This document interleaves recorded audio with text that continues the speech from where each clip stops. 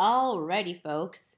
We are here for another exciting edition of online learning, and we're going to be learning about the unit circle. Uh, if you know any older humans, maybe brothers, sisters, friends, uh, they will know about the unit circle because you learn it here in Algebra 2, and you use it in pre-calc, and you use it in calculus. So it's going to be one of those things that you want to try to get pretty comfortable with. It's exactly that. It's a circle with a radius of one unit. So all the way around the circle, anything that goes all the way to the edge is one unit. So if you were making this unit circle on graph paper and this was the origin, you would the entire thing would be taking place between this point, which would have the coordinates 1, 0, 1 up the y-axis, so that would have the coordinates 0, 1, one to the left on the x-axis, so that would have the coordinates negative 1, 0. And at the bottom, you would be at 0, negative 1. So this is day one. We're going to use three days to talk about the unit circle. And our main focus today is going to be radians and degrees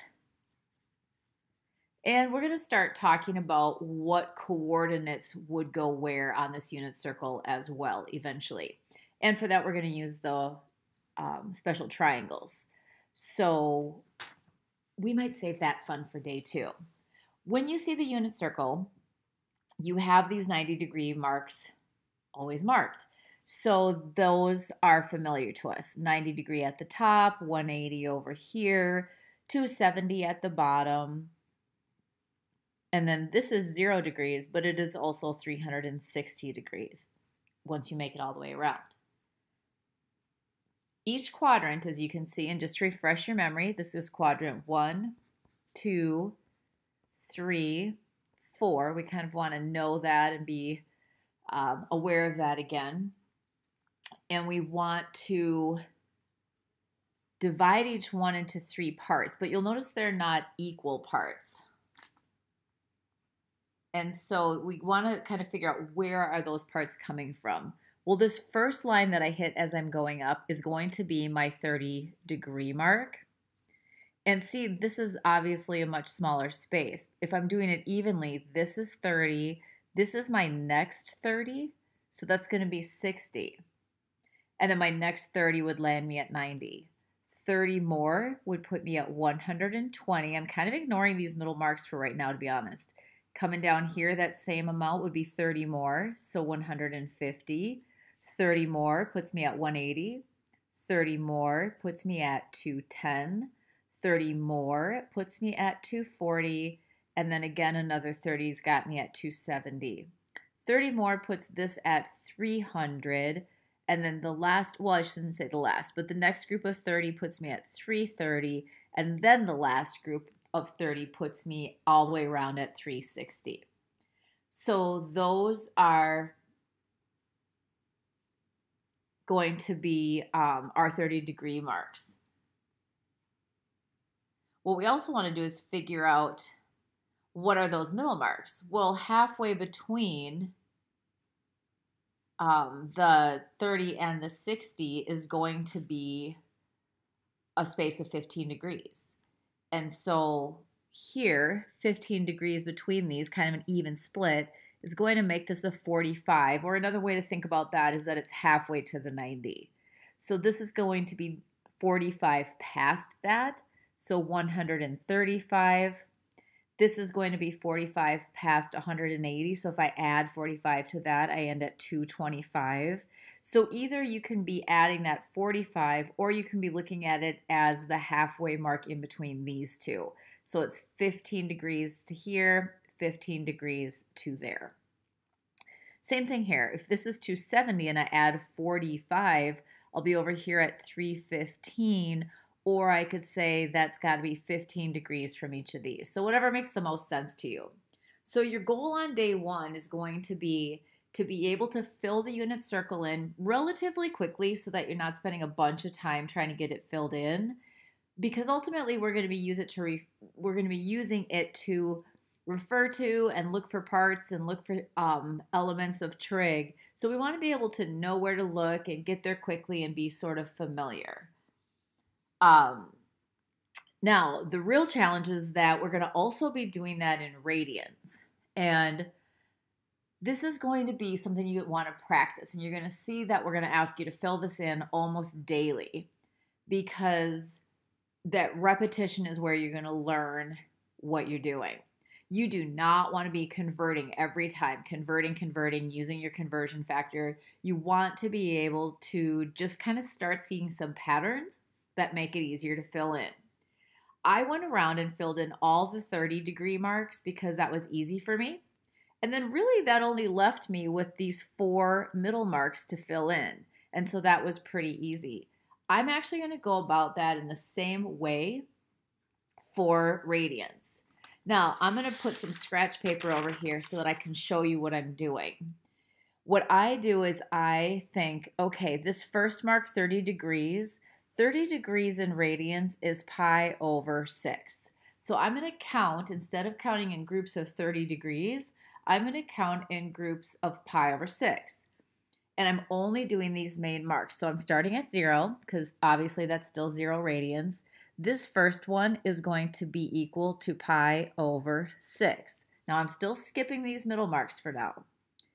Um, keep in mind that pi is the same as 180 in degrees. So if you think of it that way, 180 divided by 6 would indeed be the 30 degrees.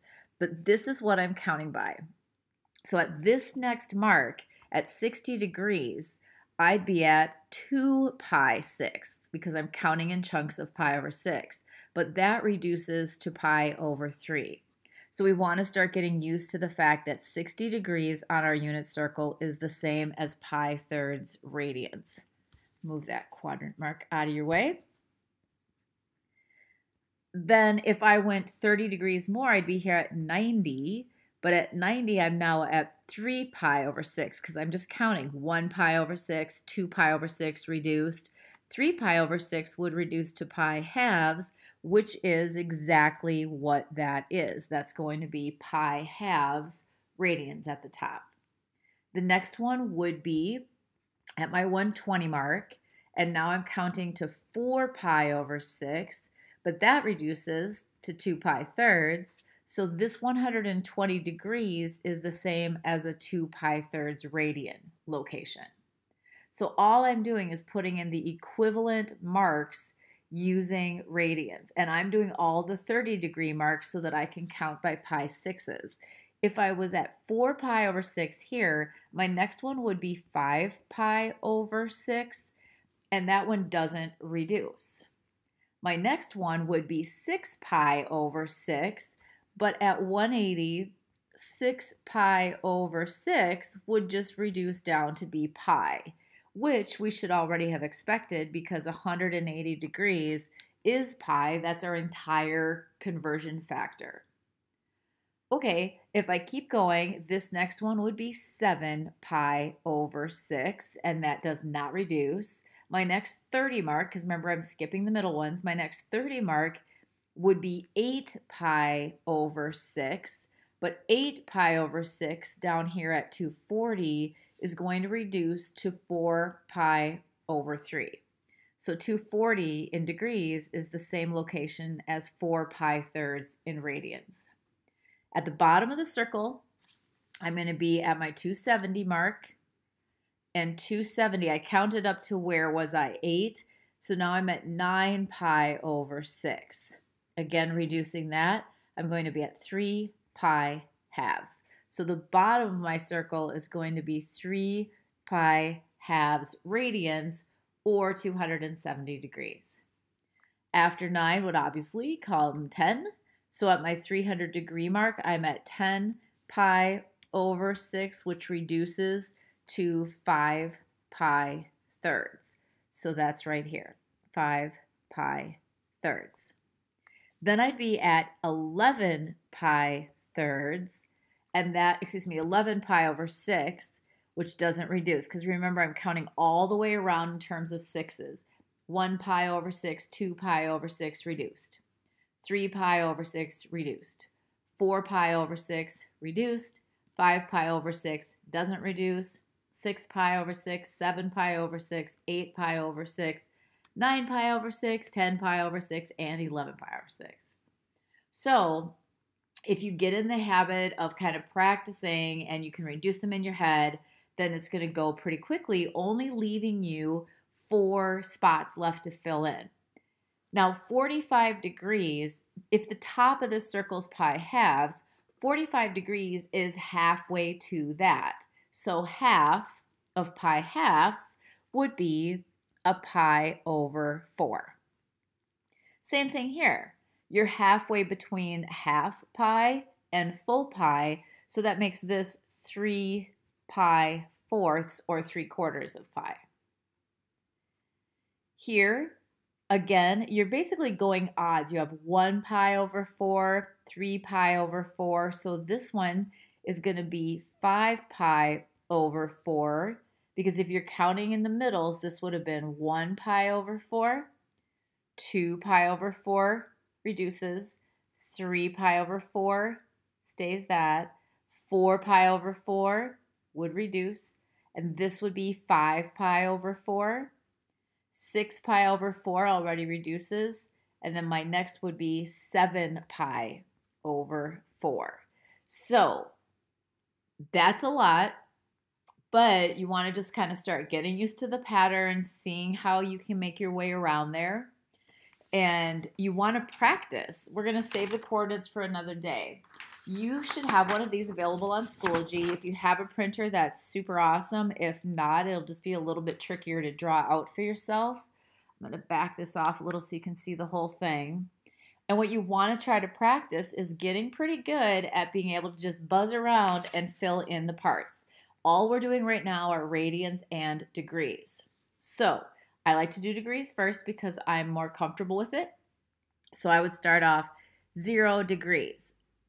Then this would be 30 degrees, 60, 90, 120. I'm going around doing all my 30s, plus 30, plus 30, plus 30, again, and I just keep going.